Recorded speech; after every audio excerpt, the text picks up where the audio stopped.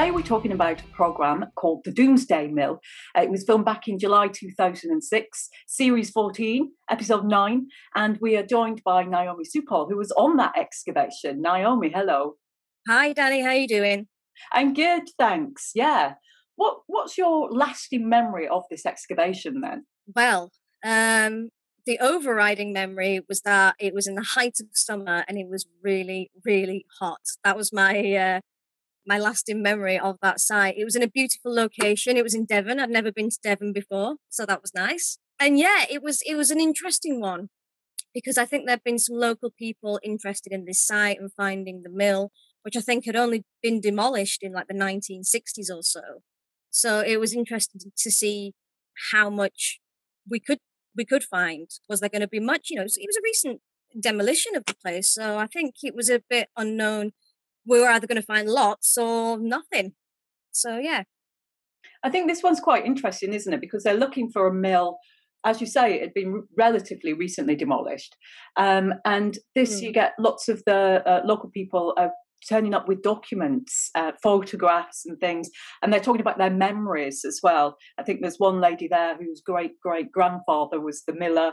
Um, there's someone else who's there who um, recalls the miller always being covered in flour. um, and so it's always yeah. nice to have that kind of side to it, isn't it, actually, when you've got the community involved? Yeah, because I think we we'd done a day of excavation, and then obviously word had got around that we were there and everything. And yeah, just one day, a load of people came walking down a footpath, and we we managed to get a lot of nice um, sort of testimony from them. They were sort of saying, "Oh, I was a kid, and I remember this," and like you say, with the Miller, uh, and didn't he go up onto the hillside and play his, his his musical instrument, and so the whole valley could hear his music and all those kinds of things.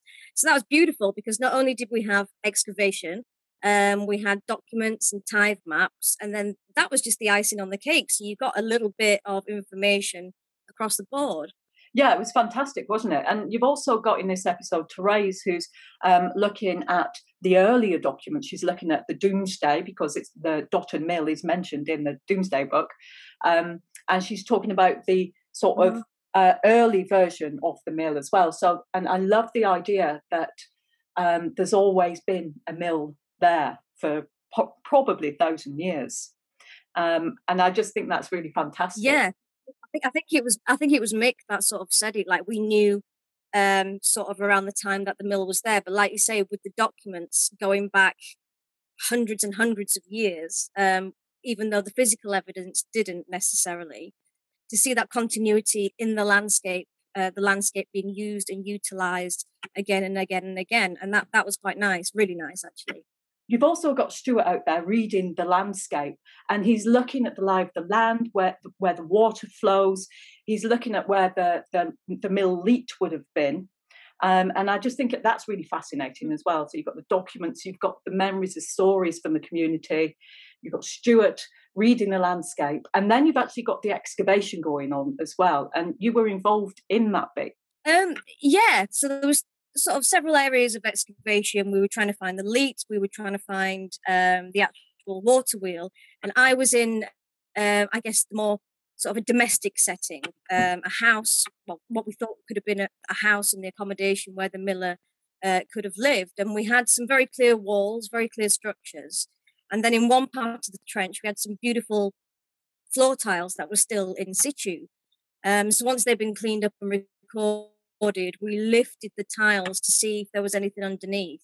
Uh, unfortunately, there wasn't, but you know, we had to lift them to, to check it out, sort of thing. And once you come towards the end of the program, there's a really fantastic bit where they do a reconstruction of the mill. And actually, the bit that you were excavating, the kitchen, the floor tiles, are actually in that reconstruction. So it's really nice to see that. It was nice. And for a domestic sort of building, like a kitchen area, actually, there were very little finds. You know, a lot of the time on Roman and Iron Age sites, we're looking for evidence of food or cooking vessels. And I think because the building had been recently demolished, I don't know whether that meant that we had less finds or less likely to find something. Um, because, yeah, the number of finds wasn't actually um, that massive.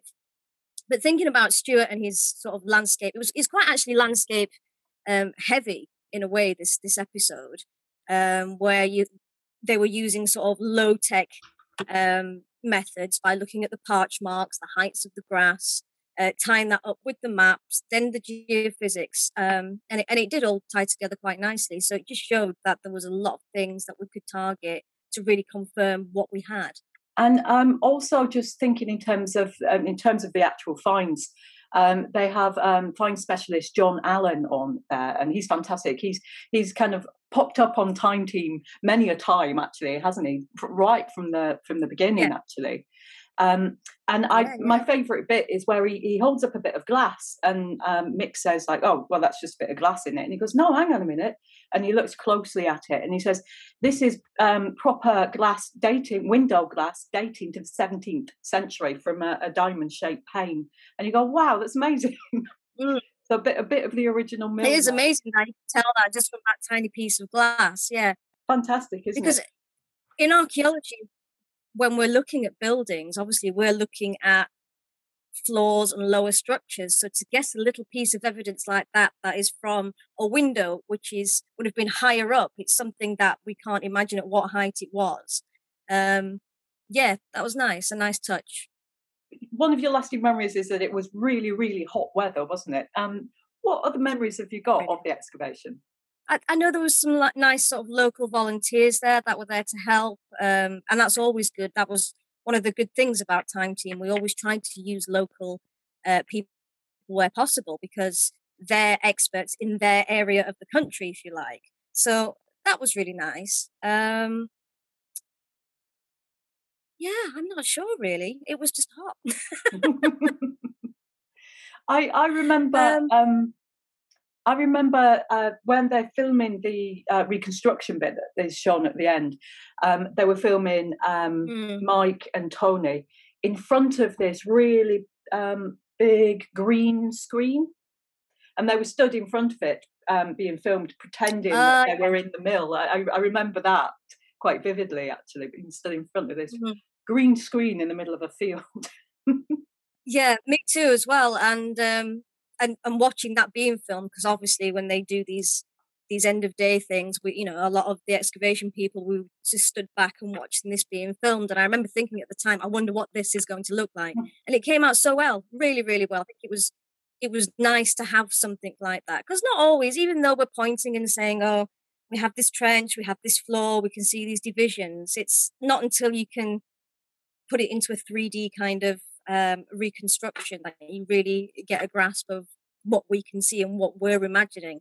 Just sort of going back to we were just talking about the mill leat. Um, actually, mm-hmm. there's a really interesting bit that's actually comes out more in the report, and people can download this. Um, the report that was mm-hmm. produced mm-hmm. after the excavation, um, and that is that actually the mill leat is part of or is the parish boundary between the two parishes and I think that's something really right. fascinating because you it's one of those where you go, wow, if it is actually part of the parish boundary, it must be really, really old. It has to be really old. Mm-hmm. Um, and there's a mm. great bit where Mick's saying, yeah, well, it's probably at least a thousand years old, going back to the Domesday mm. Book 1086, but actually probably even earlier than that, actually. Mm. And he gives a great yeah. explanation um, there. In fact, actually, there's a great little masterclass um, that people can watch on YouTube, um, which is Mick talking about um, the origin of boundaries, and we can put a link up um, below for people to follow if they like. Oh, I, I tell you, there was, you know, you say what is really memorable, and I can't believe I didn't say this before. So obviously, Phil was concentrating on looking for the wheel and the wheel pit, and I'd started off working with him but then the hole just kept getting deeper and deeper and deeper, and we were having to shore the sides to a point. It was like, right, Naomi, you can't help Phil anymore because you'll never get out. I'm four foot nine and three quarters, and so in the program, you can see an aerial shot of me just stood on the corner, going, "Yep, this is impossible for me. If I go in, I'm never coming back out." um, and but it really gave you a, a, great sense of scale as to how big this wheel would have been, and the you know the, the, the pit that was created, how deep it had to be. Uh, and not always on archaeological sites do you dig that deep, but in this case we did because it was a, a, a big structure that we were looking for.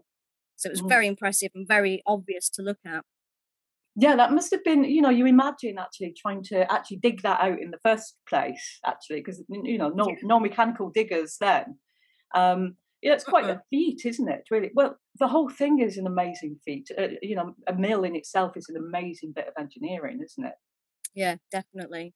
And, and, and the fact that there was so much effort put into these buildings in order to grind corn into flour to make that daily bread in a in a much quicker, more efficient way. Because there's a little segment where they leave Matt with a quernstone and he's at it for hours and hours. Yeah. Um, and because flour was your, your basic stuff of life, you know, eating wise back then. So to have this technology to make make making that daily bread easier is um, it's a big turning point. A big turning point. Absolutely. I mean, it saved so much time, didn't it? I think um, so. It took Matt, I think it was two hours in the end to sort of grind a, a, mm-hmm. a smallish bag.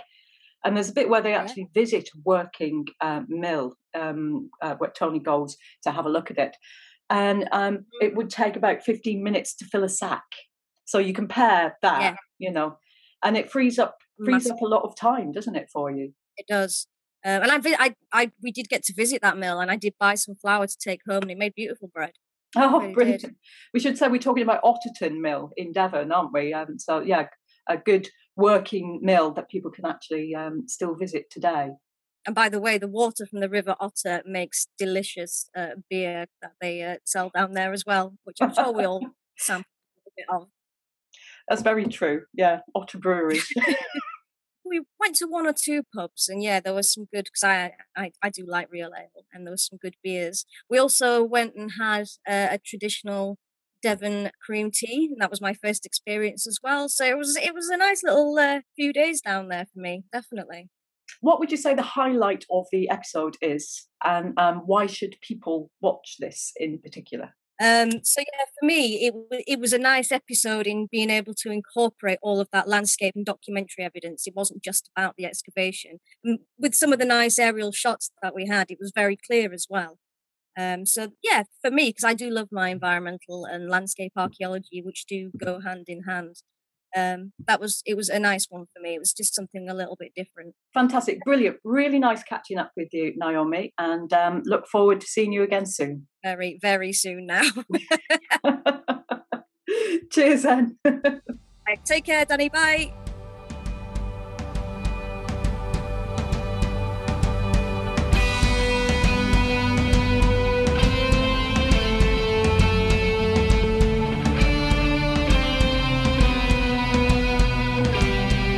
I'm at the very start of a fugu and it might be that there's more of these tunnels and caverns existing on this site.